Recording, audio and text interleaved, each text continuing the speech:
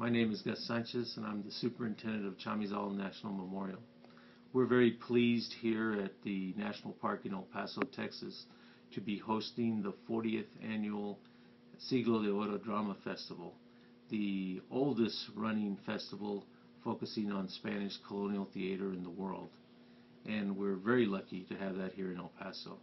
So we wanted to invite all of the El Paso community to come out and enjoy the festival presentations with us. Uh, and it'll be held this uh, March 18th through the 22nd, and admission is free of charge. So please come out and visit uh, your national park here in El Paso, Texas, Chamizal National Memorial.